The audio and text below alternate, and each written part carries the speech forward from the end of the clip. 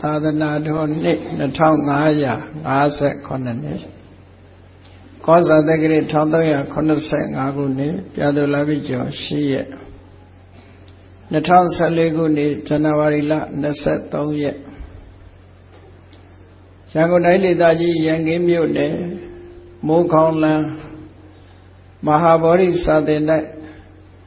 ဓမ္မဗိမာန်တော်ကြီးအတွင်ဆင်းကျင်းပပြုလုပ်အပ်သည့် အနန္တ၅ပါးနှင့်မဟာဗောဓိဆရာတော်ကြီးအားဥထိတ်ထားပြီးတော်မြတ်မွန်ဤမွေးနေ့အလူစရုဒ္ဓအချိန်မြောက်ဓမ္မပူဇာတပင်၌ဟောကြားအပ်သောအနုဗုဒ္ဓသုတ်အနှစ်ချုပ်တရားဒေသနာတော်ဒီကနေ့ညတပတ်သဘင်ခန္ဓာကို ရှင်ဘုန်းတော်သခင်ရှင်တော်မြတ်ဖရာဤ မဟာကရုဏာကုံကိုအာယုပြုကတိကျုဖွဲ့ဆိုအပ်သောဝန္ဒနာပနာမအာတိတဂါထာကိုရွတ်ဆိုပူဇော်ခြင်းဖြင့်စာတင်ကြရအောင်ယောကပကောတိဟိပိယပမေယံကာလံကရွန်တော်တိဒုက္ခရာနိခေရံကတောလောကဟိတယာနာထောနမောမာကာရုဏိကတတတ္တာ ယောနာထောဝိနိယမြာစွာတတ္တဝါဤချမ်းသာစီးပွားလိုလားတောင်းတဂုံပေါင်းခါသဖြင့်နာထမြညာခြင်းရှင်တော်မြတ်ဖရာသည်ကပ္ပကောတိဟိပိဂရေကဘာအရေးအတွက်သင်္ချာတို့ဖြင့်တော်လဲအဘယ်မေယံရည်တွတိုင်းတာဖော်ပြခြင်းငါမစွမ်းနိုင်ပါသော ကာလလေးအသင်ချေသိမ့်နေကဘာရှိကြသောကာလပတ်လုံးလောကဟိတယတတလောကဤအကျိုးစီးပွားအလို့ငါအတိဒုက္ခရာနိဥစ္စာအသက်ချေလဲအင်္ဂါမေတ္တာကြီးမှသမိတာနှင့်တထာဇနီဆွန်ရင်ကြီးဟုကျက်တိထဝယ်90အစုအလုံးဘုရောကို ကရွန်တော်ဘုရားဖြစ်ရန်ဤတန်ကြုတ်ကုတ်အာထုတ်တော်မူရသည်ဖြစ်ဖြစ်ခေရန်လက်ချေမျက်လုံးအသက်ဆုံးလည်းရဲ့နှလုံးစိတ်ဝံကိုရောဤပင်မညင်းတို့ကတောဘဝဒါနကျိတ်ဖန်များစွာရောက်တော်မူခဲ့ရရှာလေပြီမဟာကရုဏီကတတတဝါများယင်ဝဲသားကဲ့သို့တနာချစ်ခင်မဟာကရုဏာအစဉ်ဖြစ်တော်မူသော တသနာထသဝိနည်းများစွာတတဝါဤချမ်းသာစီးပွားလိုလားတောင်းတဂုံပေါင်းခါသည်ဖြင့်နာထမြညာထိုရှင်တော်မြတ်ဖရာအားနမောယုတိပြောင်းပြောင်းမှန်ကိုလျော်၍ကရောယုကျိုးရှိခိုးခြင်းသည် အထုဘဝတုစင်စစ်မသွေဖြစ်ပါစေတည်း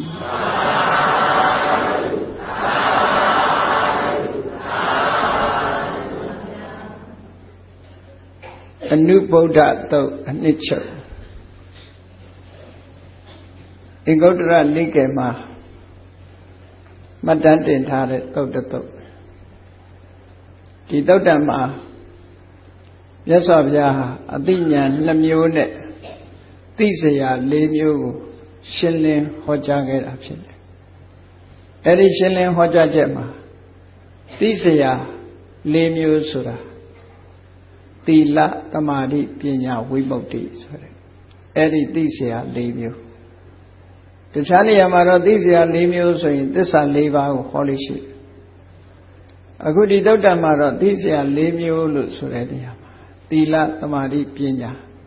ရှင်းစင်နဲ့ဆက်ဟပ်ပြီးတော့သိစရာအနေနဲ့မြတ်စွာဘုရားဟောထားတာထူးခြားတယ်လို့ပြော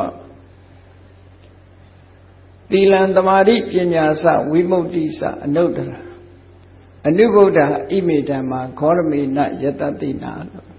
မြတ်စွာဘုရားကိုယ်တိုင်ရွတ်ဆိုတဲ့ဂါထာပဲထင်ပေါ်ကြော်ကြားတဲ့ခောရမမြတ်စွာဘုရား အဗ္ဗဓမ္မမြင့်မြတ်တဲ့သီလအမြင့်မြတ်ဆုံးသောသီလအမြင့်မြတ်ဆုံးသောသမာဓိအမြင့်မြတ်ဆုံးသောပညာအမြင့်မြတ်ဆုံးဖြစ်တဲ့ဝိမု ക്തി ဆိုတာတွေကို မှန်ကန်သောသိဉာဏ်ဖြင့်ထိုးတွင်သိတော်မူခဲ့တယ်လို့ဒီလိုအဓိပ္ပာယ်ရတယ်ပေါ့အဲ့တော့ဒီကထာလေးကိုပဲဥတည်ပြီးတော့ကျမ်းဂန်တစ်ခုဖွင့်ဆိုထားတာဝိမု ക്തി မက္ခဆိုတဲ့ ဝိသုဒ္ဓိမက္ခနဲ့အလားတူပေါ့ဝိမု ക്തി မက္ခဝိမု ക്തി ဆိုတာလွတ်မြောက်ခြင်းလွတ်မြောက်ခြင်းဆိုတာအမျိုးမျိုးရှိတယ်ပေါ့ထောင်ကလွတ်တာလဲလွတ်မြောက်တယ်လို့ခေါ်တာပဲတခြားနောင်ဖွဲ့တွေကလွတ်မြောက်တာလဲလွတ်မြောက်တယ်လို့ခေါ်တာပဲတဏှာကလွတ်မြောက်တာကိုလည်းလွတ်မြောက်တယ်လို့ခေါ်တယ်ဒီနေရာမှာဝိမု ക്തി လို့ဆိုတာစိတ်ကိုနှောင်ဖွဲ့ထားတဲ့ ကိလေသာဆိုတဲ့နှောင်ကြိုးတွေကလွတ်သွားတဲ့လွတ်မြောက်မှုကိုဒီလိုဆိုလို့တယ်ပေါ့ဘုန်းကြီးတို့တွေဟာကိုယ့်ကိုမေးလို့ရှိရင်လွတ်မြောက်တယ်လို့ပဲပြောကြပါ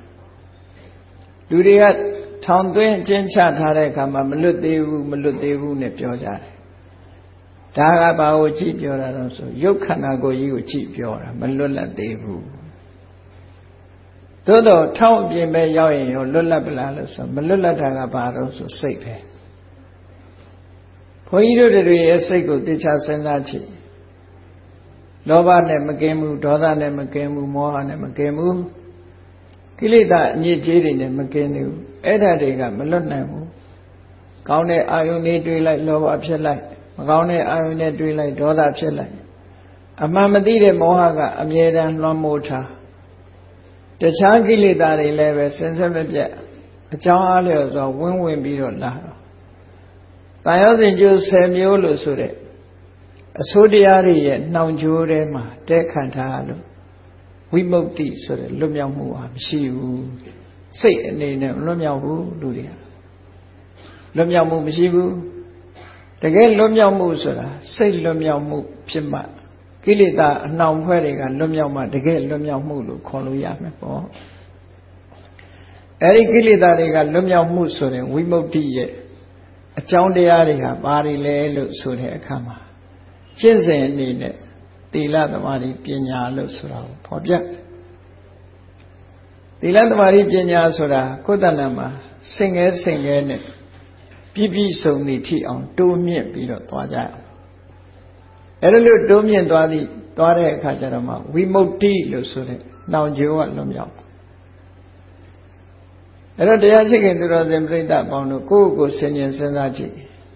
ငါစိတ်လေးကိုဘာတွေကနှောင်ဖွဲ့နေတယ်လဲဆိုတာမစစ်ဆေးရင်မသိဘူးမတွေးရင်မသိဘူးရသော်ဘုရားကဟောတယ်ပစ္စဝိခဏဘဟုပကာရာကုသရေတုဓမ္မေတုကောင်းမြတ်တဲ့ပြစ်ကင်းတဲ့တရားတွေနေရာမှာဆင်ញင်သုံးသပ်မှုဟာသိကျေစုများတယ်အရေးပါတယ်လို့ပြောတယ်ဆင်ញင်သုံးသပ်မှုကအရေးပါတယ် မဆင်ញင်ရင်မသိဘူးငါစိတ်ဟာလွတ်မြောက်နေသလားလို့ဆိုရင်ဘယ်လွတ်မြောက်မှာလဲဘုန်းကြီးရဲ့စိတ်ကိုဘယ်သူတွေကလွှမ်းခြုံထားတုံးလို့ပြောရင်မောဟကလွှမ်းဖုံးထားတယ်မောဟလွှမ်းဖုံးထားသည့်အတွက်ကြောင့်အမှန်ကိုမသိဘူးဒီအတွက်ကြောင့်တွေ့တာစရာနဲ့တွေ့ရင်လောဘဖြစ်လိုက်မုန်းတီးစရာနဲ့တွေ့ရင်ဒေါသဖြစ်လိုက်ဒီကြားတဲ့မာမနာတို့အိတ်သားတို့မစ္စရိယတို့ဆိုတဲ့ အနောင်ဖွဲ့တွေကလည်းစိတ်ကိုထပ်ထပ်ပြီးတော့ရစ်ပတ်ထားတာဟာလွတ်လန်းတော့မမြင်နိုင်ဘူးပေါ့အဲ့ဒီဝိမု ക്തി ဆိုတဲ့လွတ်မြောက်မှုကိုယ့်ကိုဆင်ញင်စဉ်းစားကြည့်နော်ရုပ်ခန္ဓာကိုယ်ကြီးကိုခြေတော်ရောလက်ရောအကုန်လုံးမလှုပ်နိုင်အောင်ကျိုးနဲ့တုတ်ထားရင်ဘယ်နဲ့ဘယ်လိုနေပါကျိုးနဲ့တုတ်ထားတာကိုခံစားကြည့် လက်ကလည်းလှုပ်လို့မရအောင်ခြေတော်လည်းလှုပ်လို့မရအောင်သွားလို့မရအောင်ကျိုးနဲ့တုတ်ထားကြည့်အဲ့ဒီလိုခန္ဓာကိုယ်ကြီးကိုကျိုးနဲ့တုတ်ထားတယ်လို့ငါစိတ်လေးဟာလည်းပဲကျိုးနဲ့ဒုက္ခံထားရတယ်လို့ဆိုတာကိုစဉ်းစားကြည့်ဖို့လိုတယ်။တာမန်အပြင်တော့မသိဘူးလေတူတယ်။နောင်ကျိုးရှိမှန်းတော့မသိဘူး။အင်တန်သိမ်မွေ့တဲ့နောင်ကျိုးဒီနောင်ကျိုးကခြိထားမှန်းလည်းမသိဘူး။ပြင်ဘက်ကခြိတဲ့ကျိုးကလေ ယုံလို့ရှိရင်အရေးတွေပွန်းတယ်အသားတွေစုပ်တယ်။ဒီကျိုးကယုံလဲအဲ့ဒါလိုမဖြစ်ဘူး။ခြီထားမှန်းလည်းမသိဘူးဟိုဒီဒီသွားလို့လည်းရတယ်ဆိုခြီမှန်းကိုမသိတာကို့မှာကြိုးရှိမှန်းတော့မသိဘူးလူတွေမှာအဲ့ဒါလောက်ထိအောင်တိမ်မွေ့နူးညံ့တော့အကြည့်တော့ကျိုးတန်းလန်းကြီးနဲ့ပါလားလို့မသိသည့်အတွက်ကြောင့်ဒီကျိုးကိုဖြတ်ဖို့လည်းဘယ်တော့မှမတွေးဘူး ငါနောင်ဖွဲ့ခံရပါလားလို့မသိသည့်အတွက်ကြောင့်ဘယ်တော့မှလည်းပဲဒီကျိုးကလွတ်ဖို့မစင်စားဘူးဆိုတဲ့အနေအထားမျိုးပဲသို့တော့ကိုယ်စိတ်လေးဟာအာယုန်နဲ့တွေ့တိုင်းလောဘကဖြစ်လာလိုက်ဒေါသကဖြစ်လာလိုက်အကုသိုလ်တရားတွေမကင်းနိုင်မဲ့နဲ့စိတ်လွှမ်းမိုးချုပ်ခံထားရတာအဲ့ဒါကိုပဲကိုယ်အလိုချလို့တမျိုးထင်လိုက်သေးတယ်နော်ကိုယ်အလိုချလို့အမှန်ကတော့ တဏှာရဲ့အလိုချလုပ်နေကြတာပေါ့လောဘရဲ့အလိုချဖြစ်နေတာကိုကိုယ်အလိုချလို့ထင်တယ်လူတွေမှာအဲ့ဒါလောက်ထိအောင်တိမ်မွေးတဲ့တိမ်မွေးခံထားနှောင်ဖွဲ့ခံထားရလို့ဟောဒီဝိမု ക്തി ဆိုတဲ့ဟာကိုမတိသမျှကာလပတ်လုံးတကယ်လွတ်လပ်မှုဆိုတာဘာလဲဆိုတာမတိသေးသမျှကာလပတ်လုံးတန်တရားထဲမှာလဲနေအောင်ပါပဲလို့မြတ်စွာဘုရားဒီတုတ်တမှာဒီလိုဟောတာ ဒီတရား၃မျိုး၄မျိုးတရား၄မျိုးကိုမသိသည့်အတွက်ကြောင့်ငါဖရာရောတင်တို့တွေရောတန်တရားမှာဒီဘဝကနေဟိုဘဝဟိုဘဝကနေနောက်ဘဝနဲ့ဒီလို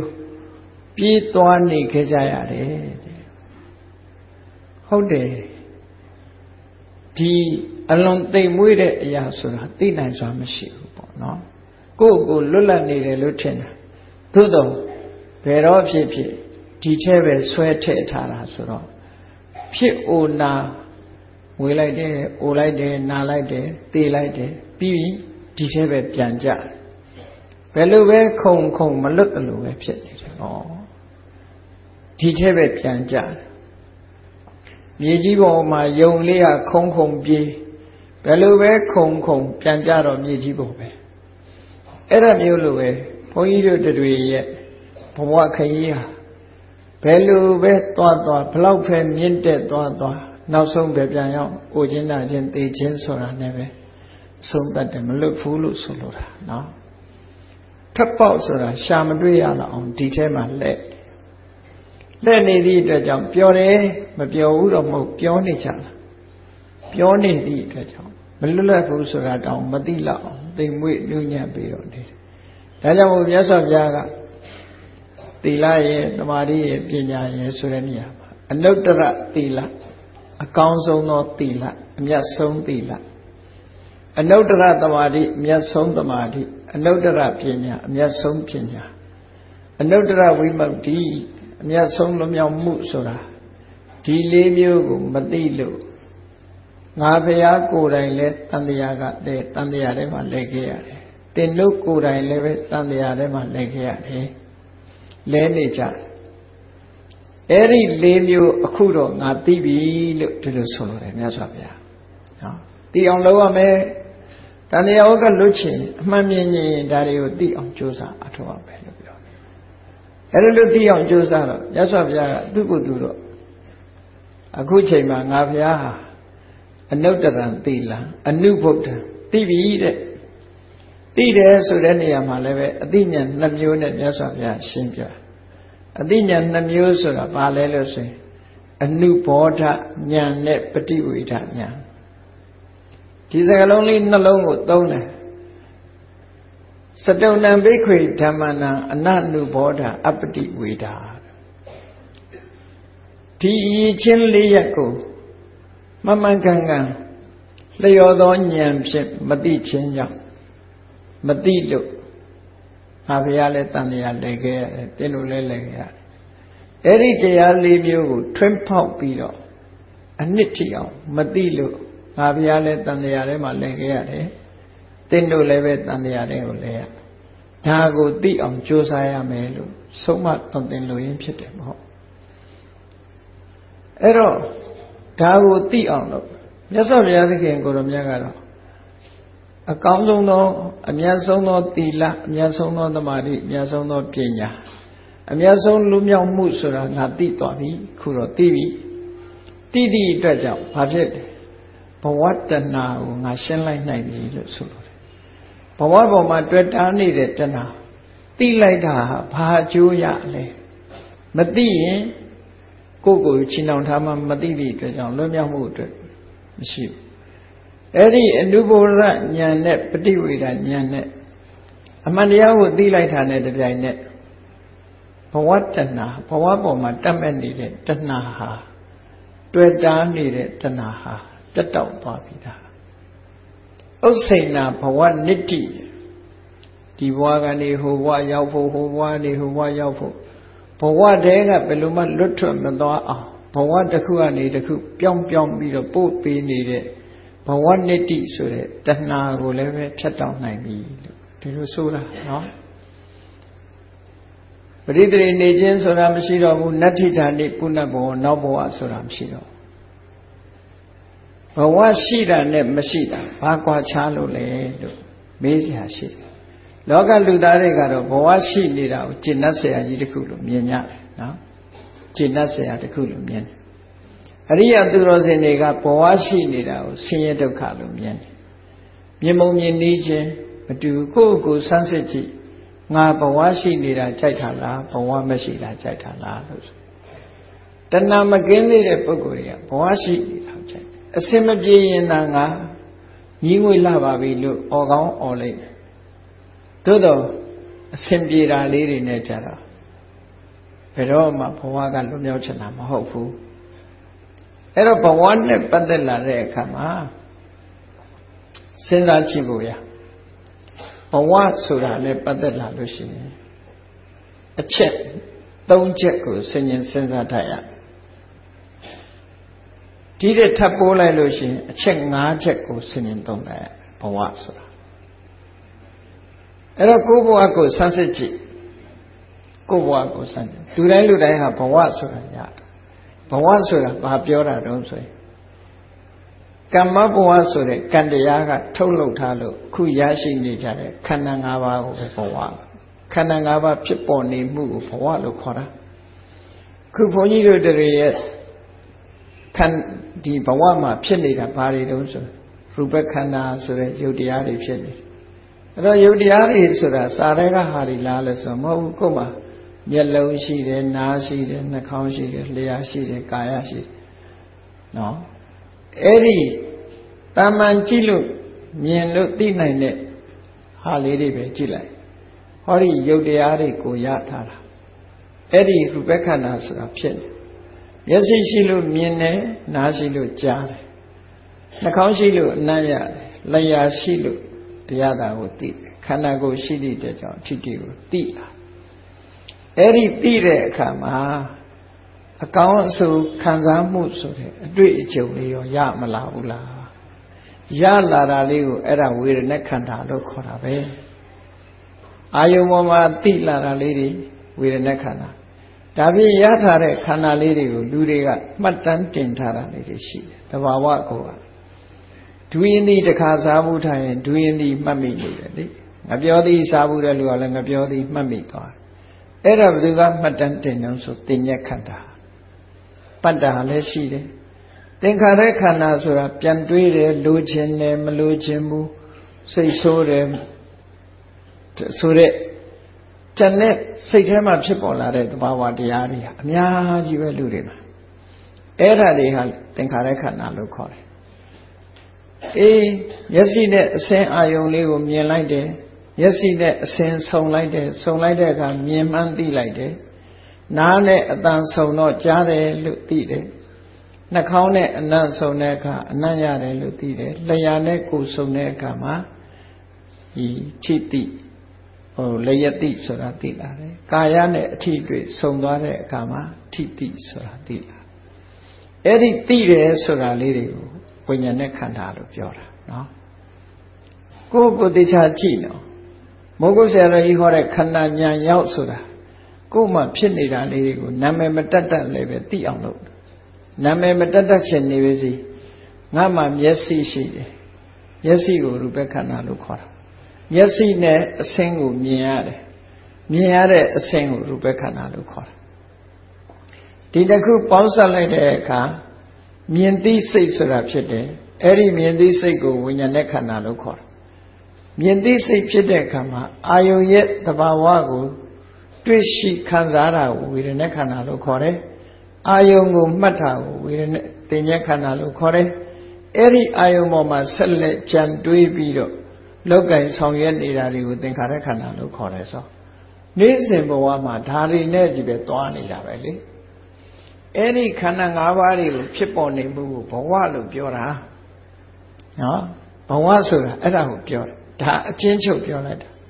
ဘဝဆိုတာအဲ့ဒါပဲလူတွေကတော့ဘဝဆိုတာအဲ့ဒါမထင်ဘူး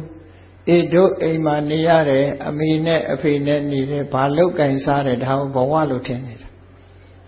ဘဝရဲ့တကယ်အနှစ်ကဘာလို့ဆိုလို့ရှိရင်ရုပ်ဝေဒနာသင်္ကြန်သင်္ခါရဝိညာဉ်ဆိုဒီခန္ဓာ၅ပါးဖြစ်နေတာကိုပြောတာအဲ့ဒီခန္ဓာ၅ပါးရထားတာဖြစ်ပေါ်နေမှုကိုဘဝလို့ခေါ်တာဒါဖြင့် ဟုတ်ပြီဘဝကြီးကိုလူတိုင်းရထားနေကြပြီလူတွေရထားရထားတဲ့ဘဝဟာကောင်းတာမရှိဘူးလားနံပါတ်1စဉ်းစားရမှာကောင်းတာမရှိဘူးလားမကောင်းတာတွေရောမရှိဘူးလားကောင်းမကောင်းတွေကနေထွက်မြောက်ဖို့ရောလမ်းကြောင်းရှိသလားဒါစဉ်းစားရမယ်ဟောနောက်တစ်ခုစဉ်းစားရမှာဒီဘဝကြီးဘာကြောင့်ရထားတာလဲဒီဘဝကြီးကိုဘာကြောင့် နဲ့မှခြုံငိမ့်အောင်လုပ်လို့ရမှာလဲဆိုဒီ၅ချက်ကိုတွေးထောဖို့ဒီ၅ချက်ကိုသိအောင်လုပ်အောင်ဒီ၅ချက်နဲ့မှအဖြေမထုတ်နိုင်နေရင်နိဗ္ဗာန်ချမ်းသာကိုမျက်မှောက်ပြုအပ်ပါလို့ဤလို့ဘယ်နှခါပဲဆုတောင်းဆုတောင်းနိဗ္ဗာန်နဲ့ကတော့ဝေးနေအောင်ပါပဲဒါမသိလို့ရှင်ဝေးနေအောင်ပါဘာလို့ဘာမသိကြမသိနဲ့တောင်းနေတာပဲရှိပါပဲလေနော်ဘာမှမသိပဲနဲ့တောင်းနေတယ် ဝေးနေသေးဥမာပဲလို့ဒါကြောင့်မို့ကဲဘဝနဲ့ဘဝဆိုတာသိပြီခန္ဓာ၅ပါးရဲ့ဖြစ်ပေါ်လာမှုခန္ဓာ၅ပါးကန့်ကြောင်ရလာတဲ့ခန္ဓာနာဥပပတ္တိဥပပတ္တိဘောလို့ဆိုတာခန္ဓာတွေရလာတာဟာဘဝပဲဟုတ်ပြီအဲ့ဒီဘဝရလာကြတဲ့အခါမှာဘဝမှာအတ္တာဒလို့ခေါ်တဲ့ခြေနှက်စရာတွေရှိသလား ဒါကိုရှာခြေနှက်เสียမရှိဘဲနဲ့တော့ဘဝထဲမှာပျော်ကြမှာမဟုတ်ဘူးအေးမေးကြည့်လိုက်လို့ရှင်ဘဝရဲ့ခြေနှက်เสียဆိုတာဘာတွေလဲသားတွေသမီးတွေနဲ့စီဝါရေးတွေဆင်ပြေလို့ကြမ်းကြမ်းမာမာနဲ့နေရတယ်ဆိုရင်ပြောနေကြဘူးလားပြောတာပေါ့ဘဝကြီးမှာပြောတာကလေးဆိုလို့ရှင်လဲကလေးဘဝကလေးဖြစ်လာကြတဲ့ကပြောနာ တငယ်ချင်းတွေအပေါင်းအသင်းတွေနဲ့နေရထားရဘဝကိုအကြောင်းပြုပြီးတော့ရလာတဲ့ပိဋိသောမနတ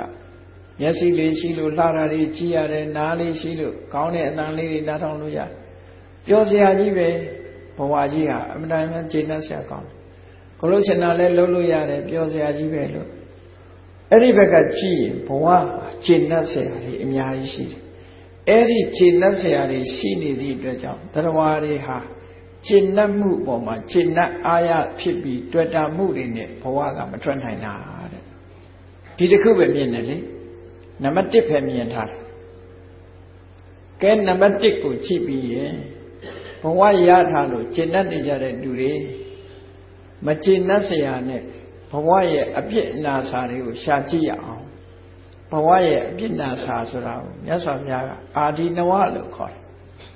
အာဒီနဝတဲ့အပြစ်နာစာအဲ့ဒီအပြစ်နာစာဘိုင်းကနေကြည့်လိုက်ကိုရထားတဲ့ခန္ဓာ၅ပါးဟာသာဝရကျမ်းမာနေတာဟုတ်ကလားမဟုတ်ဘူးသာဝရနုပြိုနေတာရောဟုတ်ကလားမဟုတ်ဘူးသာဝရရှင်သန်နေတာရောဟုတ်ကလားမဟုတ်ဘူးနုပြိုနေရာကတဖြည်းဖြည်းအိုမင်းလာတယ်ကျမ်းမာနေရာကတဖြည်းဖြည်းယိုယွင်းလာတယ် နော်အသက်ရှင်နေရာကနေပြီးသေဆုံးရမယ့်အနေအထားမျိုးရောက်လာတယ်ဟောဒါတွေကိုမေးကြည့်ရှင်းနဲ့လားလို့မေးကြည့်ပါလားကိုယ့်ကိုမေးကြည့်ခေါင်းမဖြူခြင်းမဲနဲ့ဖြူလာတယ်နော်သွားမကြိုးခြင်းမဲနဲ့ကျိုးတယ်မျက်စိမမှုံမဲနဲ့မှုံလာတယ်ဒါတွေရောရှင်းနဲ့လားလို့မေးပဲရှင်းနဲ့မှာရချင်လားဆိုမရချင်ဘူးသူကမရချင်သာဝရနုပြုခြင်းနဲ့သာဝရကျမ်းမာခြင်းနဲ့သာဝရအသက်ရှိခြင်း လူဆန္ဒကလေဒါပြင်အဲ့ဒီလူဆန္ဒနဲ့ဖြောင်းပြန်မဖြစ်ဘူးလားဆိုဖြစ်တာပေါ့ဖြစ်တာပဲ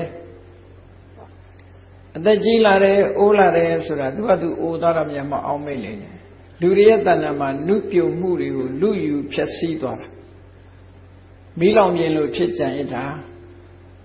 မီးလောင်တဲ့နေရာသွားကြည့်ပါလားမဲကြံရတာမဟုတ်လားရုပ်ဆိုးကြီးတံဖြစ်တယ်ထို့တူပဲဇရာမီးလောင်သွားတဲ့လူဟာ ခေါင်းတွေဖွေးသွားတာปีတွေတွန့်ကြရင်ရုပ်တွေကလည်းရုပ်ပြက်ဆင်းပြက်တွေဖြစ်ကုန်မမှတ်မိနိုင်တော့အောင်ရုပ်တွေပြက်ထွက်သွားတာဒါဘယ်သူကဖြစ်သွားတာတော့ဇရာကဖြစ်သွားအဲ့ဒါဟာအာဒီနဝပဲဒါဖြင့်အဲ့ဒီလိုသာဝရနုပြုလို့ရတဲ့ဘဝမျိုးသာဝရကျမ်းမာလို့ရတဲ့ဘဝမျိုးသာဝရအသက်ရှင်နေလို့ရတဲ့ဘဝမျိုးရောရှိလားလို့ဆိုရှားခြင်းတိုင်းရှာ နော်မတူထမင်းမတူဟင်းထမ်းရှာလဲဒီမတူထမင်းမတူဟင်းသာသိုးသွားမှာပဲတွေ့ပါမဟုတ်ဘူးစိတ်ကူးရင်တဲ့လူတွေကတော့ရေးတာပေါ့ရှန်ဂရီလာသွားနေနှစ်ပေါင်း900 1000မသိမအိုးမနာမသိနော်စိတ်ကူးလို့တော့ရစိတ်ကူးဆိုတာအဟောင်းမှမဟုတ်တာအိမ်မက်ပဲလေအဲ့ဒါလို့စိတ်ကူးလို့တန်ရတာတကယ်ကတော့ကိုယ့်ကိုယ်ဟာတွေးရင်တွေးရင်နဲ့ပြိုဆင်းလာတာနော်အိုမင်းလာယူယွင်းလာ ဘယ်ကိုသွားတော့ဆိုတေဖို့တေဖို့ရအတွက်သွားနေတာအဲ့ဒါလို့ခန္ဓာကိုယ်ကြီးရဲ့အနေထားမြတ်စွာဘုရားကတော့ဘဝဆိုတာတဲ့အာနိစ္စဖြစ်ပြီးပြတ်သွားတာဝိပရိနာမဓမ္မပြောင်းလဲတတ်တယ်အဆိုးဘက်ကိုပြောင်းအညထာဘာဝတမျိုးတမျိုးဖြစ်နေတယ်ဒါတွေဟာကျင့်တတ်เสียမကောင်းတဲ့အာရိနဝတွေပဲ အဲ့ဒီကျင့်တတ်เสียမကောင်းဘူးဆိုတဲ့အမြင်လေးနဲ့မြင်လိုက်တာကိုပဲဝိပဿနာအမြင်လို့ပြောတာဒါတကယ်ရောမရှိဘူးလားဆိုရှိတယ်လေဒါကြောင့်မလို့နံပါတ်1မြင်မြင်ဖို့လိုတယ်လောကတရဝါတွေအားလုံးဟာနံပါတ်1ဆိုတဲ့ပျော်စရာကိုပဲမြင်တယ်ဘာနဲ့ဥပမာတူတော့ဆိုလို့ရှိရင်ငားများတဲ့လူတွေကငစားလေးကိုချလိုက်တဲ့အခါမှာ အတွင်းထဲကငမြားချိတ်ကိုနွားငားမမြင်ဘူးဘာမြင်တော့ဆိုအစာလေးပဲမြင်အစာလေးမြင်လို့အဲ့ဒီအစာကိုစားခြင်းနဲ့စိတ်နဲ့ဟတ်လိုက်တာနဲ့ဘာဖြစ်သွားငမြားချိတ်ကအာကောင်စုပြီးချိတ်ပြီးသိဆုံးရတဲ့အနေအထားမျိုးရောက်တယ်လေအဲ့တော့ဘုန်းကြီးတို့တို့ရဲ့ဘဝဟာကြည့်ပြောစရာဆိုတဲ့အတ္တရာလေးမြင်ထားတော့အတွင်းထဲမှာဖြစ်နေတဲ့အာဓိနဝဆိုတဲ့အဖြစ်ကိုမြင်နိုင်ကြဘူး မမြင်နိုင်သည့်အတွက်ကြောင့်အာကောင်ကိုငမြားချိတ်တူတူပဲဟောဘဝခကြီးဟာတေမင်းကအချိန်ချင်းမိမိဘဝအဆုံးသတ်သွားတာအိုခြင်းတရားကကိုယ့်ကိုလှပမှုတွေနုပြုံမှုတွေဖြိုချဖျက်ဆီးသွားတာလူယူဖျက်ဆီးသွားတာဒါတွေပဲခံနေရတာမဟုတ်လားဒါကြောင့်မို့လို့ဘဝဆိုတာကျင့်တတ်เสียမကောင်းတာအာရိနဝ ဩရိယသူတော်စင်တွေကြတော့အဲ့လိုတွေးနိုင်တယ်ပေါ့နော်နောက်တစ်ခုတတ္တိယပါတော့ဆို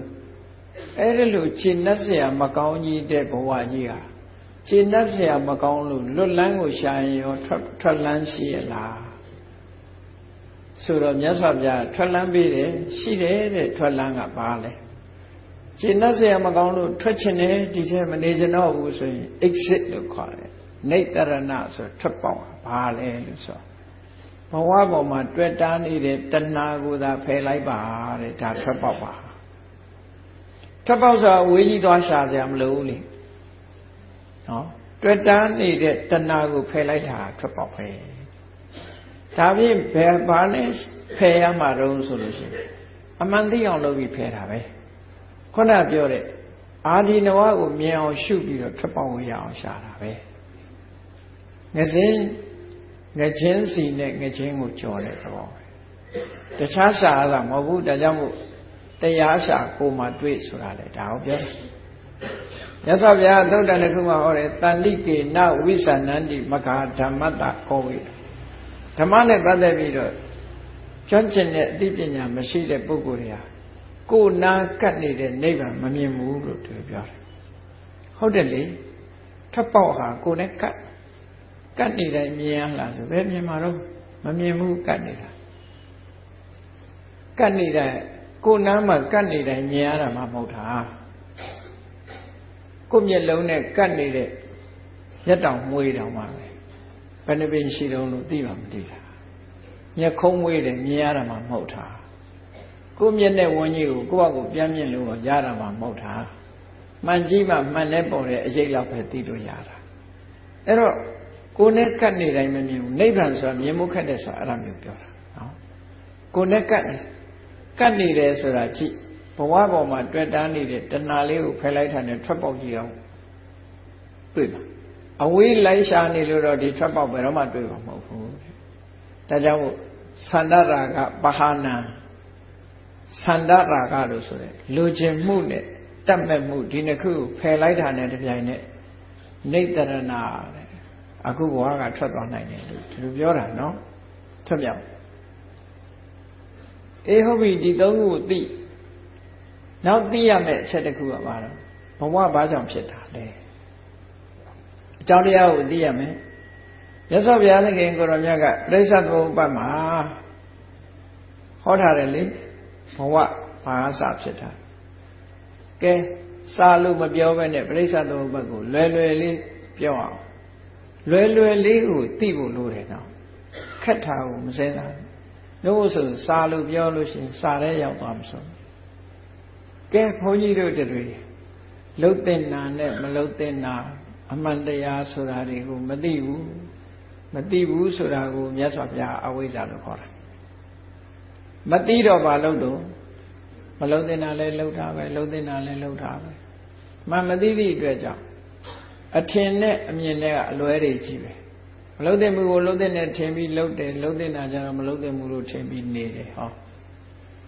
အဲ့ဒါကိုလှုပ်တာကိုသင်္ခါရလို့ပြောတာပဲဟုတ်ပြီအဝိဇ္ဇာပစ္စယသင်္ခါရ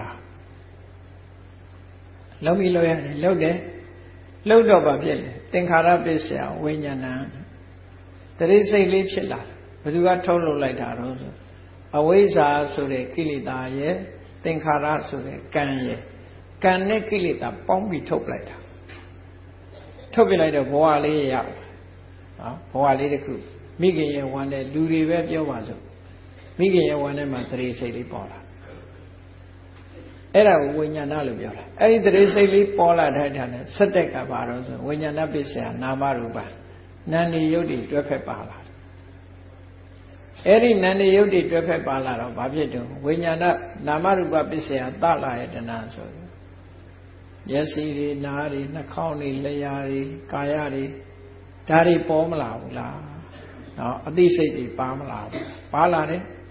မျက်စိပါလာလို့ပြင်ဘက်ကအာယုန်နဲ့ဆက်သွယ်တယ်နားပါလာလို့အတန်အာယုန်နဲ့ဆက်သွယ်တယ်နှာခေါင်းပါလို့အနတ်နဲ့ဆက်သွယ်တယ်လျှာပါလို့အရသာနဲ့ဆက်သွယ်တယ်မျက်စိမိတ်ထား မျက်စိမပါဘူးဆိုမြင်စရာမမြင်နိုင်ဘူးလေနားမပါရင်လည်းကြားတဲ့အတန်ဆိုတာမကြားနိုင်ဘူးလေနှာခေါင်းမပါလို့ရှိရင်လည်းအနတ်ဆိုတာမသိနိုင်ဘူးလေလျှာမပါဘူးဆိုရင်လည်းအရသာဆိုတာမသိနိုင်ဘူးကာယမပါလို့ရှိရင်လည်းအထီးတွေ့ဆိုတာမသိဘူးစိတ်မပါလို့ရှိရင်လည်းပဲကြံတွေးအာယုန်တွေကိုမသိဘူးလို့ဆိုတာကဲမျက်စိနာနာလျှာကိုစိတ်ဆိုတာဒါတွေက အာယုန်နေနဲ့ဆက်သွယ်ဖို့ဟာဖြစ်လာတယ်အဲ့ဒါကိုနာမရူပပစ္စယသလာယတဏ္ဍလို့ခေါ်တာလူဘဝကိုကိုလော်လည်လေးစဉ်းစားကြည့်နော်အခုလူဘဝကိုရသော်ဘုရားကဒီဘဝကြီးတစ်ခုလုံးကိုပုံဖော်ပြဘဝကြီးတစ်ခုလုံးပုံဖော်လိုက်တာပုံဖော်လိုက်ရင်အဲ့တိုင်ပဲပေါ်လာမှာပဲသိကြတယ်ပုံဖော်ထားတယ်အဲ့ဒီလိုပုံဖော်လိုက်သည့်အတွက်ကြောင့်ကြည့် ဘာဖြစ်လာတော့မျက်စိနာနာလျာကာယစိတ်တဆိုတာမနဆိုတာပါလာသည့်အတွက်ကြောင့်ပြင်ပကအာယုန်နေနဲ့ဆက်သွယ်မှုဆိုတဲ့ဖတ်တာအာယုန်နဲ့ထွေထွေမှုတွေပေါ်လာတယ်ဖတ်တာပေါ်လာသည့်အတွက်ကြောင့်တလရဏပစ္စယဖတ်တော့ဖတ်တာပေါ်လာသည့်အတွက်ကြောင့်ဖတ်တာပစ္စယဝေဒနာစိတ်ရခံစားမှုတွေဝင်လာတယ်စိတ်ရခံစားမှုတွေဝင်လာတဲ့အခါဝေဒနာပစ္စယတဏကိုယ့်ကိုဖြစ်နေတာတွေကိုချိဒီတိုင်းလာနေတာနော် ဝေဒနာပစ္စယတဏတဏပစ္စယဥပါဒနာတဏဆိုတာလိုချင်တဲ့အဆင့်လေးဥပါဒနာပစ္စယဆိုတာဆုပ်ခိုင်းထားတဲ့အဆင့်ရောက်သွားတယ်ဆွဲလန်းသွားတဲ့အဆင့်ကိုရောက်သွားတယ်ဟောဥပါဒနာပစ္စယဘဝဆိုဟောဘဝဆိုတာဖြစ်လာတယ်ဒါဟာဘဝသမှုရိယပဲဖြစ်ကြောင်းတရားကိုသိတာလို့ဆိုလို့တယ်ဒါတွေမရှိရင်ဖြစ်ကြောင်းတရားမရှိနိုင်နော်ခုဖြစ်နေတာဒီလမ်းစဉ်နဲ့ဖြစ်နေ ဒါဖြင့်ချုပ်ချောင်းလမ်းစဉ်ကတော့ဘာလို့ဆိုအေးမှန်မသိတဲ့အဝိဇ္ဇာမသိဘူးဆိုတာမရှိဘူးသိအောင်လုပ်လိုက်တယ်သိသွားဟောမသိတာချုပ်သွားသည့်အတွက်ကြောင့်ဖြင်းရမ်းလောက်တာမရှိတော့ရမ်းလောက်တာမရှိရင်ကံတရားတွေမရှိတော့ကံတရားတွေမရှိရင်သင်္ခါရနေရောတာဝိညာဏနေရောတော့တရေစိတ်ဖြစ်ဝိညာဉ်မှမဖြစ်ရင်ဝိညာဏနေရောတာနာမရူပနေရောနာနေရုပ်တွေချုပ်မှာပဲမရှိတော့ နာနေချုပ်တွေချုပ်ရင်နာမရူပနိရောဓသလယရဏနိရောမျက်စိနာနာလျာကာယမနဆိုတဲ့ဟာတွေဘယ်လာတော့မှာမလာတော့ကဲဒါဖြင့်မျက်စိနာနာလျာကာယတွေချုပ်သွားလို့ရှိရင်ဖတ်တာဆိုတာလာအောင်မလားမလာဘူးသလယရဏနိရောဓဖတ်တာနိရောဓဖတ်တာမှမရှိရင်စိတ်ရဲ့ခံစားမှုတွေလာအောင်မလားမလာဘူးဖတ်တာနိရောဓဝေဒနာနိရောဓ တခါဝေဒနာမှမရှိဘူးဆိုရင်လိုချင်တာရောလာအောင်မလားမလာတော့ဘူးဝေဒနာនិရောဓတဏှာនិရောဓဟောတဏှာချုပ်သွားပြီနိရောဓဆွဲလန်းနေမရှိတော့မရှိတော့ရင်ဘဝနိရောဓဘဝချုပ်သွားပြီဟောတာဒီအချက်၅ချက်ပြန်ပြီးတော့မှတ်ဖို့ဘဝနဲ့ပတ်သက်လာလို့ရှိရင်ตาယာပွေအတ္တာဒကျင့်တ်เสียကောင်းတာကိုလည်းသိရမယ် ကျင့်တ်เสียမကောင်းတဲ့အပြစ်နာစာအာဒီနဝကိုလည်းသိရမယ်ထွက်ပေါက်ကိုလည်းသိရမယ်ဘာကြောင့်ဘဝရနေတယ်ဆိုတာသိရမယ်ဘာကြောင့်ဘဝချုပ်ငိမ့်သွားတယ်ဆိုတာလည်းသိရ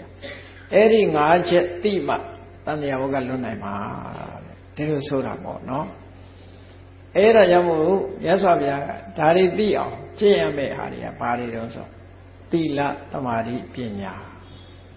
အဲ့ဒီကိုကျင့်လိုက်လို့ရှိရင် ဝိမု ക്തി ဆိုတဲ့လွတ်မြောက်မှုကိုရမှာပဲသီလံသမာဓိပညာစဝိမု ക്തി စအနုတ္တရာအနုဗုဒ္ဓဣမိဓမ္မာခောရမိနာယတတိနာတဲ့တကယ်တော့မြတ်စွာဘုရားရဲ့အကျင့်စဉ်သီလသမာဓိပညာလို့ဆိုဒီမှာမဂ္ဂင်၈ပါးအကျင့်တရားပဲထပ်တူညီမျှပဲ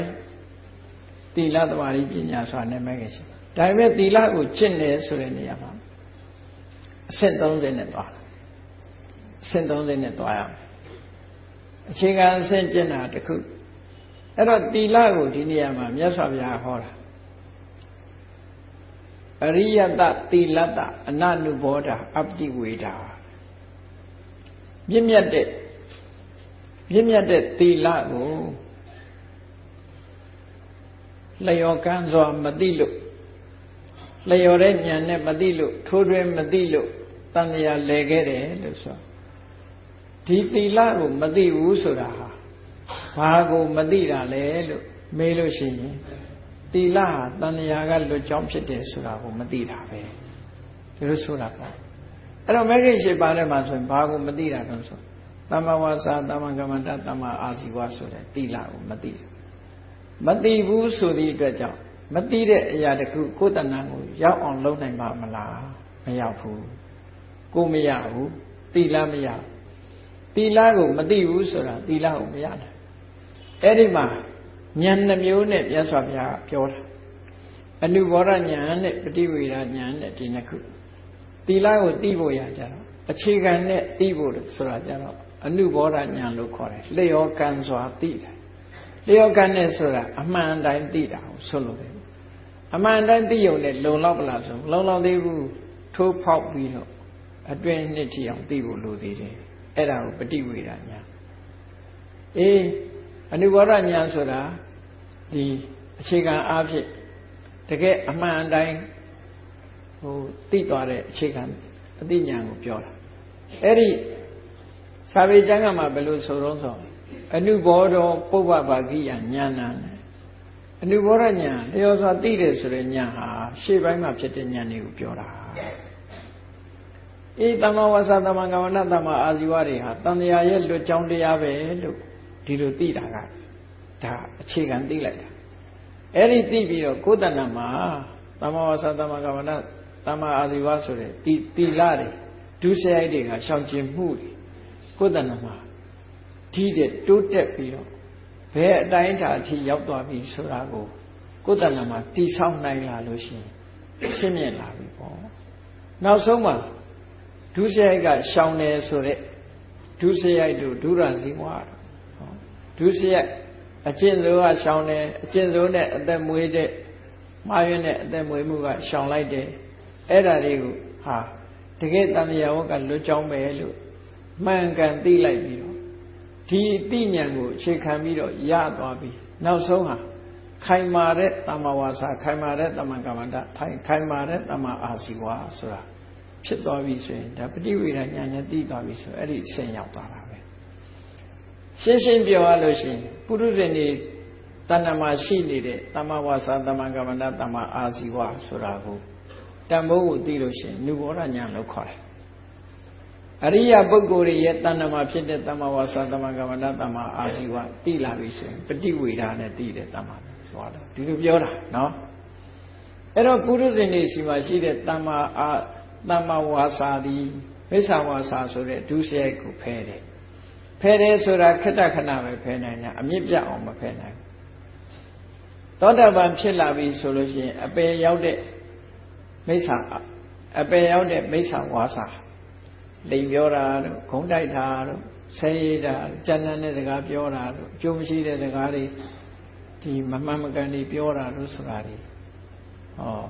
ပုရုဇဉ်ဘဝမှာရှောင်ရင်ခိတ္တပဲရှောင်ဟောအရိယပုဂ္ဂိုလ်ဖြစ်လာလို့ရှိရင်အသက်ပေးပြီးရှောင်ဟောဆင့်မြင့်သွားတယ်သောတာပန်ဖြစ်သွားရင်အပါယကမဏိယဒုစရိုက်အပယ်ကိုချမဲ့ဒုစရိုက်ကုန်သွားပြီတဂရကဖြစ်လာရင်ပိုပါသွားပြီပါပါလေးခြံတော့တယ်ဟောအနာဂံဖြစ်သွားလို့ရှိရင်ကာမရာဂဗျာပါဒနဲ့ပတ်သက်လာတဲ့ဒုစရိုက်တွေခုံကုံသွားပြီ ယန္တာဖြစ်ပြီဆိုရင် အမြစ်ပါမကြမ်းတော့ဘူးခုံသွားပြီလို့အဲ့ဒါကိုပြောတာအနုတ္တရာတိလံဆိုတာအမြင့်ဆုံးယဟန္တာပုဂ္ဂိုလ်ရဲ့တိလအထိအောင်တိအောင်လုပ်ရမယ်တိအောင်လုပ်တယ်ဆိုတာရအောင်လုပ်ရဒီလိုပြောတာကိုတိလကိုအခုကနေ့စောင့်တိလိုက်တယ်တရားမနာခင်ကပါဏာတိပါဒဝေရမဏိဒါပုထုဇဉ်တွေရဲ့စောင့်တိမှုလို့ခေါ်တယ်အဲ့ဒီစောင့်တည်မှုကဘယ်အတိုင်းတာအထိရှိတယ်လဲတတိမေးပြီးတော့ချိုးပေါက်ခြင်းချိုးပေါက်မယ် နော်ပုရုဇဉ်နေစားအချိန်မရွေးကိုစောင့်တည်ထားတာမေ့ပြီးတော့တခုကြုံလိုက်တာနဲ့တပြိုင်နက်ချိုးပေါက်သွားတာဖြစ်တယ်အဲ့ဒါမခိုင်မာတဲ့သီလအဲ့ဒီသီလကိုထပ်ဆင့်ပြီးတော့အသက်လောက်တန်ဖိုးထားပြီးတော့စောင့်တဲ့သီလမျိုးဖြစ်လာတယ်အရိယာကြတော့အဲ့ဒီကနေပြီးယဟန္တာဖြစ်လာပြီဆိုရင်ဘယ်လုံးမှကျွလွန်နိုင်တဲ့တတိမေ့တယ်ဆိုတာကိုမရှိတော့ဘူးလုံးဝပြည့်ပြည့်စုံသွားတဲ့သီလမျိုးဖြစ်သွားပြီဆို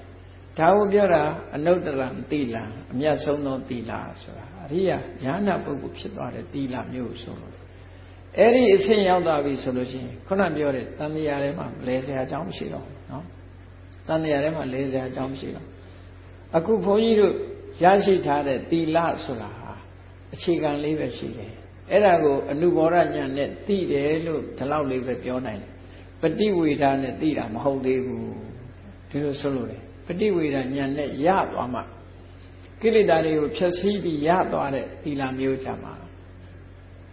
အရှင်းမြင်တဲ့သီလမျိုးဖြစ်သွားတယ်တမာရီဆိုလည်းပဲထို့တူတယ်သီလဆိုတာတမာရီကိုအကျိုးပြုတယ်ဘယ်လိုအကျိုးပြုတာလဲလို့မေးလို့ရှိရင်တမာတီလာပြည့်စုံတဲ့ပုဂ္ဂိုလ်တရားဟာကိုယ်တီလာကိုဆင်ញင်လိုက်တာနဲ့စိတ်ထဲမှာကြည်နူးတယ်စိတ်ထဲမှာကြည်နူးသွားရင်ဝမ်းသာတယ်ဝမ်းသာရင်ပီတိဖြစ်တယ် ပီတိဖြစ်ရင်ကိုယ်စိတ်ငြိမ်းချမ်းတယ်ငြိမ်းချမ်းလို့ရှိရင်ဒုက္ခချမ်းသာတယ်ချမ်းသာရင်ဘာဖြစ်လဲစိတ်တည်ကြည်တယ်ဟောတမာလေးကိုထောက်ကူပြုတာအဲ့ဒီနည်းနဲ့ထောက်ကူပြုတာဟုတ်ပြီတမ္မာဝါစာတမ္မာကမ္မန္တတမ္မာအာဇီဝဆိုတဲ့ဒီသီလကိုကိုယ်တဏ္ဍာမှာလုံအောင်လုပ်လိုက်တယ်နိဗ္ဗာန်ကိုရည်မှန်းပြီးတော့ဥတည်ပြီးတော့လုပ်လိုက်တဲ့သီလဟာတကယ်ကိုဒုစရိုက်တွေကို တရင်ကအာဖြင့်ပယ်တာတို့ဝိခမနအာဖြင့်ပယ်တာတို့နောက်ဆုံးသမုတ်စေတာလက်ကြံမရှိအောင်အကြောင်းနဲ့ကွာပယ်တတ်တာတို့ဖြစ်သွားပြီဆိုလို့ရှိရင်သီလဘက်ကပြည့်စုံသွားပြီဘာလို့ဖို့လို့တော့တမာတိဒါဖြင့်တမာတိမရှိရင်ဘာဖြစ်လဲဆိုဥဒိစ္စအကုသိုလ်တွေလာတယ်အကုသိုလ်ဟာဥဒိစ္စမပါပဲဖြစ်မဖြစ်ဘူးစိတ်မတည်ငြိမ်မှုကိုအကြောင်းပြုပြီးတော့အာယုန်ဒီမှာအကုသိုလ်တွေကဖြစ်လာ မောဟအဟိရိကနတ္တဘဥဒိစ္စဆိုတဲ့သဘာဝတရားတွေစိတ်ရဲ့အညစ်အကြေးတွေတမာရီရဲ့ဆန့်ကျင်ဘက်တွေဖြစ်လာတယ်အေးတမာရီကိုကြွက်လေဝင်လေမှတ်တဲ့အခြေခံတမာရီကမူလတမာရီကစပြီနောက်ဆုံးမှာဝိပဿနာဉာဏ်မှာဖြစ်ပေါ်လာတဲ့ခဏိကသမာဓိတို့နောက်ဇန်တရားအထုတ်လို့ရှေးပိုင်းမှာဖြစ်တဲ့ဥစ္စာရသမာဓိတို့ နောက်တစ်ခါဇံရလို့ဖြစ်လာတဲ့အပ္ပနာသမာဓိတို့ဝိပဿနာကူးပြောင်းတဲ့အခါမှာခဏိကသမာဓိတို့စင်စစ်မပြအားကောင်းလာတဲ့ခဏိကသမာဓိဇံရလို့ဖြစ်ပေါ်လာတဲ့သမာဓိကခိုင်မာတဲ့အပ္ပနာသမာဓိလို့ခေါ်တယ်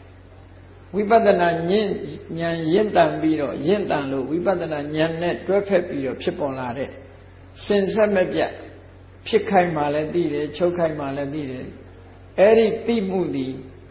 သိမှုအတွက်ရှေ့ကနေပြီးတော့စိတ်ကလေးတည်ငြိမ်မှုဆိုတာသိမှုရဲ့ရှေ့ကနေပြီးတော့သိမှုနဲ့အတူတကွပေါ်လာတဲ့တမာတိလေးကိုခဏိကတမာတိလို့ခေါ်တယ်အဲ့ဒီခဏိကတမာတိအားကောင်းလာတယ်ဆိုလို့ရှိရင်အပ္ပနာတမာတိလို့အင်အားလေးရှိလာတယ်သို့တော့ဝိပဿနာမှာတမာတိနဲ့ပညာဘယ်သူကအဓိကတော့ဆိုပညာအဓိကပညာကဥဆောင်သွားတယ်နော်သဘာဝတရားတွေဟာအလုံးလုံးကြပြီမယ်လို့တခုကဥဆောင်ရတယ် တခုကလမ်းလျှောက်ရင်ဘယ်သူကဥဆောင်တာတော့ခြေထောက်ကဥဆောင်လက်နဲ့လှုပ်ရှားရှိရင်ခြေထောက်ကဥဆောင်တာမဟုတ်လက်ကဥဆောင်စာဖတ်ရင်ဘယ်သူကဥဆောင်တာမျက်စိကဥဆောင်ဟောခန္ဓာကိုယ်ကြီးတစ်ခုလုံးရှိပြီမယ်လို့ဥဆောင်မှုလေးတွေမတူဘူးဆိုတာကိုမှတ်တာတပ္ပရကျင့်စဉ်တစ်ခုကျင့်လို့ရှိရင်တမာရီကဥဆောင်ဝိပဿနာကျင့်စဉ်ကိုကျင့်ရင်ပညာကဥဆောင်တော့ပညာဥဆောင်တဲ့ဟာမှာတမာရီမပါဘူးလားဆိုပါတယ် တမာရီနဲ့တွဲဖက်သွားတာပဲအဲ့ဒါလို့ဆိုလို့တယ်ပေါ့အဲ့တော့အနုတ္တရတမာတိလို့ဆိုတာပါလဲသောတာပတ္တိမဲ့နဲ့ရှင်းလာတယ်ဒဂရဂာမိမဲ့နဲ့တွဲလာတယ်အနာဂာမိမဲ့နဲ့တွဲလာမက္ခမက္ခဆိုတာဒီမက္ခရှိပါအပေါင်းကိုခေါ်တာနော်မက္ခရှိပါဝိပဿနာကျင့်နေတော့ကလည်းဒီမက္ခရှိပါပဲဒါနဲ့ကျင့်သို့တော့အားမပြည့်သေးဘူးအင်အားမပြည့်သေးဘူး ဝိပဿနာအခိုက်မှာအင်အားမပြည့်သေးဘူးအင်အားမပြည့်သေးတဲ့ဉာဏ်ကိုအနုဘောဓဉာဏ်လို့ခေါ်တယ်အင်အားပြည့်သွားရင်ပฏิဝေဒလို့ခေါ်တယ်ဟောအဲ့ဒီပฏิဝေဒအဆင့်ရောက်တည်တိုင်အောင်ကြိုးစားအားထုတ်ရမယ်လို့ဒီလိုဆိုလိုရင်းဖြစ်တယ်ပေါ့နော်ဒါကြောင့်မို့ပညာဆိုတာလဲဘာကိုပြောတာလို့ဆိုတမာဒိဋ္ဌိနဲ့တမာသင်္ကပ္ပကိုပညာလို့ခေါ်တာပဲ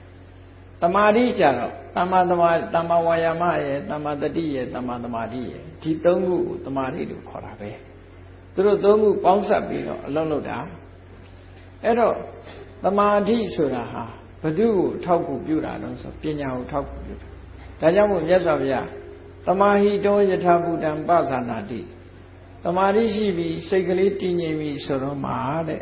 ယထာဘူတတကယ်ဖြစ်နေတဲ့အမှန်တရားကိုသိနိုင်တယ်လို့ဆိုဒါဘယ်သူ့ကိုထောက်ကူပြုတာတော့ဆိုပညာကိုထောက်ကူပြုတာအဲ့တော့သီလကတမာရီကိုထောက်ကူပြုတယ်တမာရီကပညာကိုထောက်ကူပြုတယ်ခွင်းဆက်လေကတိ၃တက်လို့ပဲပထမလေကတိကဒုတိယလေကတိအတွက်ဒုတိယလေကတိကတတိယလေကတိအတွက်ဟောဒီလိုဆုံးလာတာပေါ့မြတ်စွာဘုရားကျင့်နေတာခွင်းဆက် အဲ့တော့ပထမလေကတိမနှင်းမနဲ့တတိယလေကတိကြော်နေရင်တော့ချော်ကြမှာပေါ့ဘယ်လိုဆုံးလို့လာပဲเนาะအဲ့တော့မဂ္ဂင်၈ပါးဆိုဒီမှာဒီဟာကိုပြောတာဝိပဿနာဉာဏ်အရှင်းမှာအနုဘောဓလို့ခေါ်တယ်ဝိပဿနာဉာဏ်နဲ့သိတဲ့အသိလေးတွေကသီလဝိပဿနာဉာဏ်နဲ့သီလရဲ့အငြိကြီးတွေကိုဖယ်လိုက်နိုင်တယ်ဝိပဿနာဉာဏ်နဲ့တမာရီအငြိကြီးတွေကိုဖယ်လိုက်နိုင်တယ် ဝိပဿနာဉာဏ်နဲ့ပညာရဲ့အငြိကြီးတွေကိုဖယ်လိုက်နိုင်တယ်အဝိဇ္ဇာတို့ကိုဖယ်လိုက်နိုင်တယ်ဆိုရင်ဒါဟာအနုဘောဓဉာဏ်ဖြစ်တယ်လို့ပြောတာနော်တမ္မာဒိဋ္ဌိနဲ့တမ္မာသင်္ကပ္ပအမှန်တွေးမှအမှန်မြင်တာဖြစ်သောကြောင့်တမ္မာသင်္ကပ္ပဆိုတဲ့အမှန်တွေးတော်မှုဟာအရေးကြီးတယ်ပေါ့မှန်တွေးတော်မှတမ္မာဒိဋ္ဌိအမှန်မြင်တယ်ဆိုတဲ့ပညာဖြစ်တယ်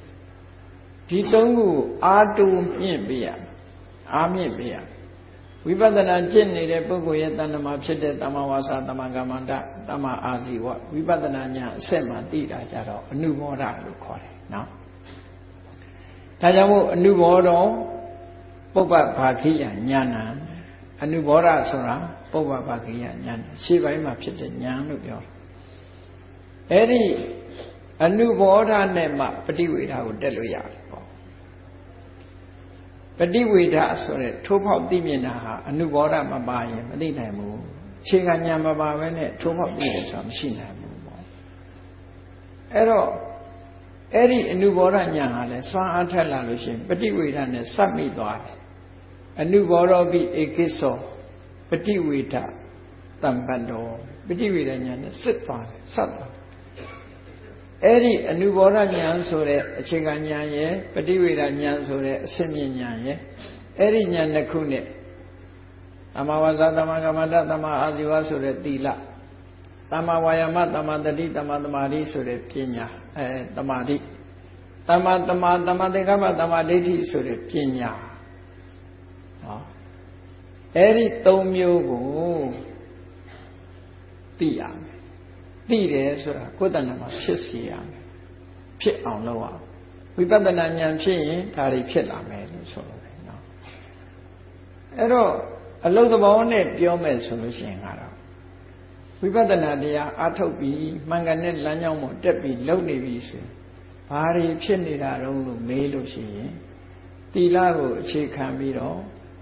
အကုသိုလ်တွေဖယ်ရှားဖို့ကြိုးစားနေလို့တမ္မာဝါယမဖြစ်တယ် ကုသိုလ်တရားတွေတိဆောက်ဖို့ကြိုးစားနေလို့တမ္မာဝါယမဖြစ်တယ်အာယုန်နဲ့စိတ်နဲ့ဒီဟိုဖိကတ်ထားတာဖြစ်သောကြောင့်တမ္မာတတိဖြစ်တယ်အာယုန်လေးပေါ်မှာစိတ်ဟာစုစည်းထားနိုင်သောကြောင့်တမ္မာတမ္မာသမာဓိဖြစ်တယ်အာယုန်ပေါ်မှာမှန်ကန်တဲ့နည်းတွေနဲ့ကြံတွေးနေတာဖြစ်သောကြောင့်တမ္မာသင်္ကပ္ပဖြစ်တယ်အမှန်သိသည့်အတွက်ကြောင့်တမ္မာဒိဋ္ဌိဖြစ်နေတယ်ဟောတရားထုတ်နေပြီဆိုတာဒါတွေဖြစ်နေတာပဲ အဲ့ဒီအခြေအနေတွေကရင့်တန်မှုမရှိသေးဘူးတခါတခါဝီရိယကများသွားလိုက်တခါတခါတမာတိကများသွားလိုက်တခါတခါပညာကတာသွားလိုက်နဲ့ဒီလိုချင်းခွင်လိုပဲမတည်ငြိမ်မှုတစ်ဖက်ဆောင်နေနေဖြစ်ဖြစ်နေသေးတယ်မြဝိပဿနာဉာဏ်အဆက်မရှိသေးတယ်အေးဝိပဿနာဉာဏ်ကနေပြီးတော့မဲ့ဉာဏ်ပေါ်လာပြီဆိုရင်ပฏิဝေဒဖြစ်လာပြီဆိုရင်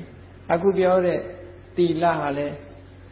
ဒီဒုစရိုက်တွေကိုဖယ်ဖို့ရအတွက်လက်ချမရှိအောင်ဖယ်ပြီးဖြစ်သွားတယ်။တမာတိကလည်းဆန့်ကျင်ဘက်တွေကိုလက်ချမရှိအောင်ဖယ်ပြီးဖြစ်သွားတယ်။ပညာကလည်းသစ္စာလေးပါးနဲ့ပတ်သက်ပြီးလက်ချမရှိအောင်ကာကွယ်ထားတဲ့ဒီအဝိဇ္ဇာစတဲ့ဟာတွေကိုဖယ်ရှားပြီးသားဖြစ်သွားတယ်ဆိုတော့ဒီမဂ္ဂင်၈ပါးလုံးဟာတပြေးညီအလုံးလုံးသွားပြီးတခုတည်းကဲ့သို့ဖြစ်သွားတယ်။ဟောတခုတည်းကဲ့သို့ဖြစ်သွားတော့ကြောင့်မက်စိတ်လို့ပြောတာမက်လို့ပြောတာနော်မက်ခလို့ပြောတာ ဝိပဿနာဉာဏ်ကိုလည်းဝိပဿနာဉာဏ်လို့သာပြောတာဘာနဲ့လောက်ရတာတော့ဆိုဟောဒီမဂ္ဂင်၈ပါးပဲရှစ်ခုဝိပဿနာခိုက်သူရင့်တန်သွားပြီးတော့နိဗ္ဗာန်ကိုအာရုံပြုပြီဆိုရင်တခုတည်းဖြစ်သွားတယ်အဲ့ဒီတခုတည်းဖြစ်သွားပြီဆိုတဲ့အခါမှာနိဗ္ဗာန်ကိုမြင်လို့ရတယ်နိဗ္ဗာန်ကိုအာရုံပြုလို့ရတယ်နိဗ္ဗာန်ကိုအာရုံပြုလိုက်တာနဲ့တပြိုင်နက်ကိလေသာတွေကိုပယ်သွားတယ်ဒါကြောင့်မို့လို့ မက္ခဆိုတဲ့အဓိပ္ပာယ်ကိုဖွင့်ဆိုတဲ့အခါမှာဘယ်လိုဖွင့်ဆိုတော့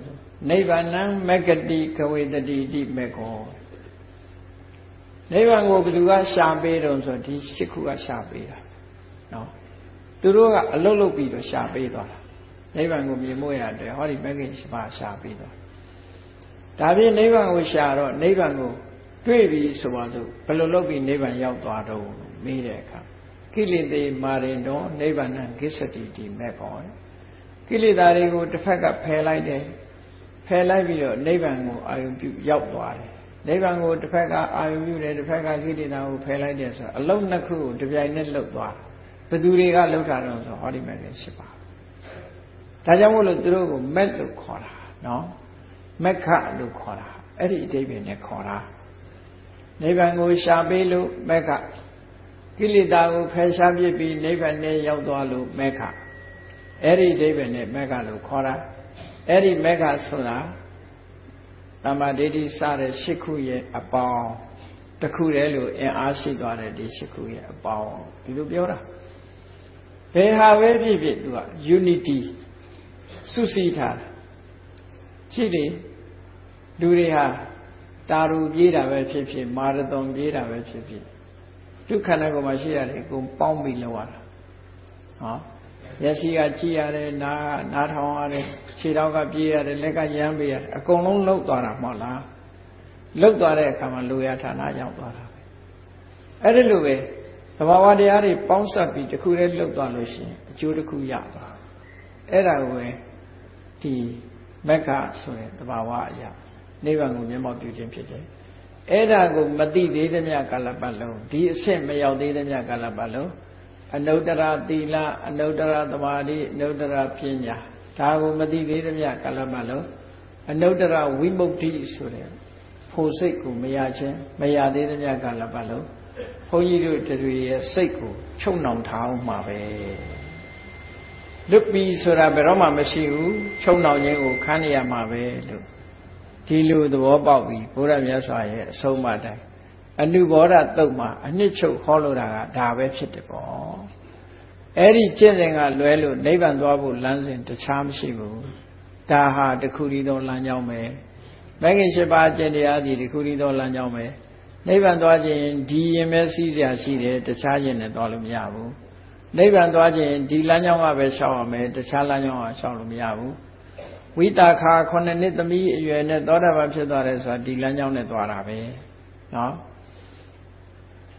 တရားလည်းအာမထုံးလည်းရဘူးတရားနာလိုက်တာနဲ့ရသလားလို့ဆိုတရားနာလိုက်တဲ့အချိန်မှာဒီရှစ်ခုဖြစ်သွားတာပဲသူမှာနော်နာလိုက်တာနဲ့ဒီရှစ်ခုဖြစ်သွားဘယ်သူပဲဖြစ်ဖြစ်နိဗ္ဗာန်ရောက်တရားကိုသွားတာမှန်တယ်ဗျာဒီမဲ့ခင်လမ်းကြောင်းကလွဲပြီးတခြားသွားစရာမရှိဘူးကိုယ်တဏ္ဍမှာရှိတဲ့နိဝရဏတရားတွေကိုဖယ်ရှားခြင်း တတိပဌံအာယု၄မျိုးပေါ်မှာတတိထားခြင်းတတိထားခြင်းဆိုကြတဲ့တမ္မာတတိပဲလေဘုဇင်ခုနှစ်ပါးကိုပွားခြင်းအဲ့ဒီလောက်ရကလွဲပြီးတော့ဒီမဲ့ခင်ကဆိုတဲ့တရားမပပဲနဲ့နိဗ္ဗာန်ကိုရောက်သွားတယ်ဆိုတာလုံးဝမရှိဘူးဒီနည်းနဲ့သာရောက်နိုင်တယ်လို့အနုဘုရားတုတ်အနှစ်ချုပ်ကိုမှတ်သားကြရမှာဖြစ်တယ်တရားချစ်ခင်သူတော်စင်ပြိဿပေါင်းတို့ဘုရားမြတ်စွာဟောကြားတော်မူခဲ့တဲ့အနုဘုရားတုတ် အဲ့ဒီအနုဘုရားတုတ်တိုင်လိုက်တာကျင့်သုံးမယ်ဆိုရင်မြတ်စွာဘုရားဟောတယ်နောက်ဆုံးမှာကိလေသာခတ်သိမ်းချုပ်ငြိမ်းပြီးတော့နိဗ္ဗုဒ္ဓဆိုတဲ့တကယ်အငြိမ့်တက်ကိုရမှာဖြစ်တယ်ဘဝတဏဆိုတာကုံသွားနိုင်တယ်ဘဝနိတိဆိုတဲ့တဏကိုဖယ်ရှားနိုင်တယ်နောင်ဘဝဆိုတာမရှိတော့ဘူးအဆုံးသတ်သွားနိုင်တယ်လို့အကယ်၍ဒါတွေမှမသိသေးဘူးဆိုရင်ဖြစ်အိုနာသေးတန်တရားထဲမှာလဲအောင်ပါပဲတန်တရားထဲကလွတ်ဖို့ရအတွက် ဒီကျင့်စဉ်ကိုကျင့်ကြရမှာဖြစ်တယ်လို့ကိုစီကိုစီသဘောကျပြီးအနုတ္တရအနုဗုဒ္ဓတုတ်တံကျင့်စဉ်အတိုင်းကျင့်ကြံကြိုးကုပ်အားထုတ်နိုင်ကြပါစေကုန်သတည်း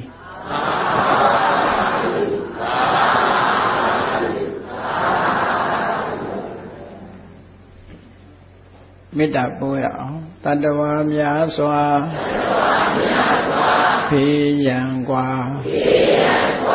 ချမ်းသာကြပါစေ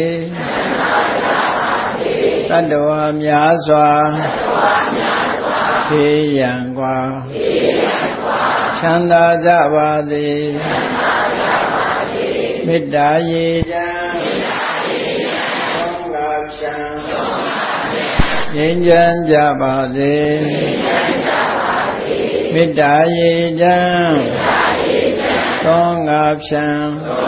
ငြိ မ်းချမ်းကြပါစေသက်ရှိကျမ်းမာစိတ်ချမ်းသာလိုရဆန္ဒပြေပါစေသက်ရှိကျမ်းမာစိတ်ချမ်းသာလိုရဆန္ဒပြေပါ ဟောလန္တာဒုက္ခပင်ကစားမေတ္တာပုံနေတုသင်္ကမာမနောတရတိတဝေတံဘဝယန္တုဒုက္ခနကမေတ္တာပုံနေတုသင်္ကမာစုပေါင်းပုအပ်မေတ္တာတဟုရောင်မြူပါဝင်ငွေလာမင်းနှင့်ရောင်ကြီးရှဲယုံပေါင်းဆောင်ရခြင်းကြောင့်တဝေတံကျွင်းမဲ့ဥတုံလုံးစုံများစွာတတ္တဝါတို့၏မ နောတရသည်မြင်မြဖြူစင်အေးကြည်လင်းသည့်ရေစဉ်ပြည့်တင်းစိတ်နှလုံးတည်ဟုသောရေအိုင်ကြီးအတွင်၌ဒုက္ခပင်ကသာစင်ထာဝရအိမြจิตာတာယာပွင့်လန်းချမ်းသာဒုက္ခတည်ဟုသော ကုမုဒ္ဒရာကြာပန်တို့သည်ဖုံးလန္တာဝန္တာရွှေမြူဝမုံလူလျက်ကြည်နုပွဲကြုံဖူးပွင့်ရကုန်သည်ဖြစ်၍ဒုက္ခနကလေအောင်လေးတဲ့ရောရှက်သင်ပြပီတိတိဟုသောယနန္တို့သည် ဘဝယံတုကောင်းစွာမသွေကြိုင်လည်၍နေကြပါစေကုန်တည်း